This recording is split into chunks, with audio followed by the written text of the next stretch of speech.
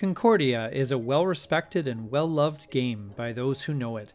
But is it as good as people say? And is the digital app worth it? We'll take a look at that today here on Legendary Tactics. I discovered this game originally through a friend of mine. He had purchased it at a board game cafe, apparently purely based on its reputation, as far as I can recall. Whenever I would go over to visit, I would always request to play Concordia, and I was excited to show others this game as I found it to be an interesting puzzle.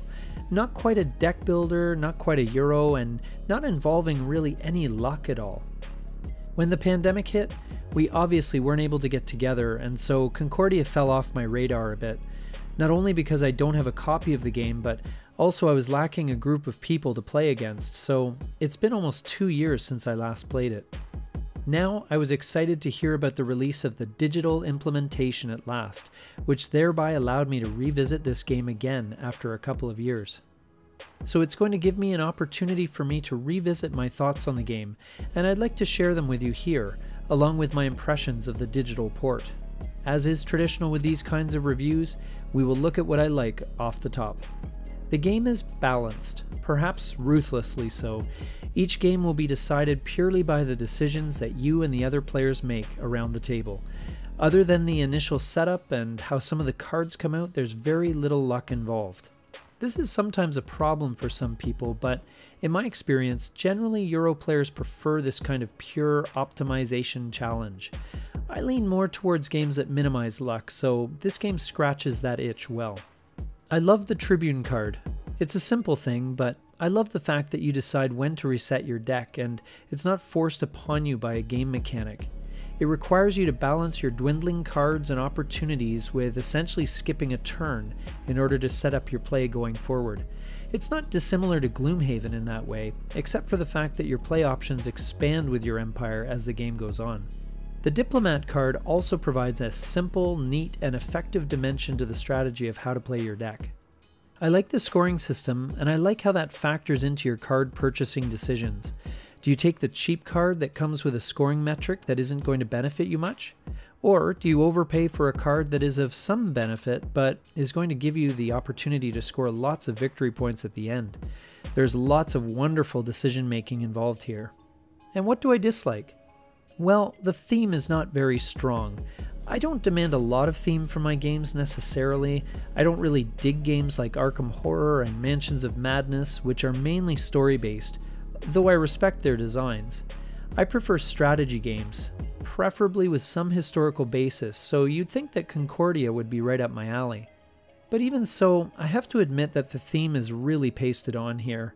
It wouldn't take much to reskin this game for space, another time, or even an alternate history. This game is more about the balanced game system than about recreating history or telling any sort of story. The components of the cardboard version of the game are fine, but nothing spectacular.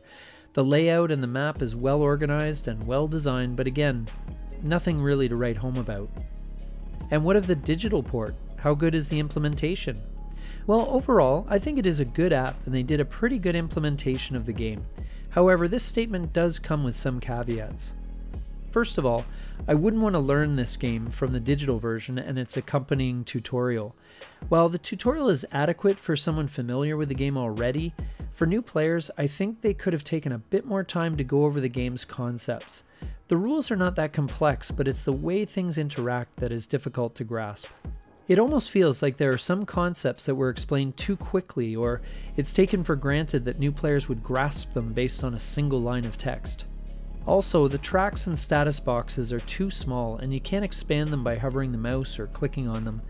It's not bad once you figure out where everything is, but even as someone who has played Concordia multiple times before, it took me a little while to get used to that. Otherwise, as an app, it functions smoothly and quickly, meaning you don't have a lot of downtime while you wait for the AI to make their move. The controls are intuitive and work along the same lines as other digital versions of board games. It just feels very utilitarian, maybe like a German car without any of the optional upgrades. It's fine and it gets you to where you want to go, but there's not a lot of features to make it really fun. For example, there's not many animations beyond what is absolutely necessary. Like the analog version, the components are functional, but drab. It's unlikely people will be compelled by the look of the game to give it a try. So, in conclusion, I like Concordia a fair bit. The game system really is well designed and implemented. It's never going to be the prettiest game on your shelf, as its looks are quite pedestrian, but give it a chance. I think if you like Euro games, you will find a lot to like here. Once you learn the game, the digital version is an adequate port that will allow you to practice and improve, maybe join some friends online and play more Concordia. I'm curious though, what do you think? While you're on your way down to the comments section to let me know your opinion, don't forget to hit the like and subscribe button. It really helps our channel. Thank you so much for watching. This is Legendary Tactics.